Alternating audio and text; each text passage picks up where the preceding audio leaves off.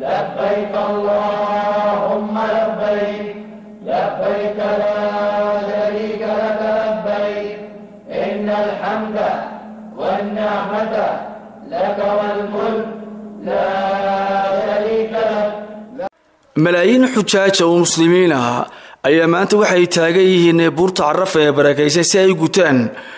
rugni weyn oo ka mid a arkaanta xajka kadib markay maalinkii shalay ay soo guteen rugnigii ugu horreeyay ahaa maalinta loo yaqaano yowm al tarwiya ama maalinta cokanaanta iyagoo halkaasina salaadaha ku jimciyey salaadaha duhur casar maqrib iyo cishe.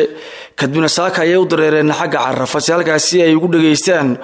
khudbadda laga akhrin doono masjidka lagu magacaabo alnimara oo halkii uu nabigeenii suubanaan naxariis nabadgelkiisa ahaatee uu ka khudbadeeyey maalintii xajatul wadaac kadibna halkaasi ayay joogeen ilaa iyo qoraxdu ay ka dhaxayso khudbadan qiimaha leh ayaa waxay kala socon doonaa xujaajtu mikrofono lagu xidhay taandhooyinka iyo raadiyayaasha maqribka iyo cishaha ayna halkaasi ay ku jimcin doonaan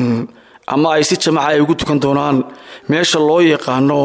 mashrucul xaraam oo ilaahay yidhi markaad carafa istaagtaan mashrucil xaraamkana ilaahay ku xusa. Waana meesha loo yaqaano mustalifa halkaasi ayaana caawa ay ku baryayaan xujaajtu si ay roorta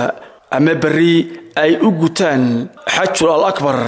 oo ah maalinta ugu hawsha badan ee xujaajtu ay tuurayaan. Jamaraadka malaayiinta xujaajta ee gudanaya acmaasha xajka ayaa waxay noqonayaan xujaajtii ugu badnaa ee abid taga dalka sacuudi arabiya waxaanay kala yimaadeen boqol iyo lixdan dal oo adduunyada saraakiil ka tirsan wasaaradda xajka iyo cumrada ee dalka sacuudi arabiya ayaa waxay sheegeen sanadkan ay yihiin xujaajtii ugu badnaa ee soo gaadha dalka sacuudi arabiya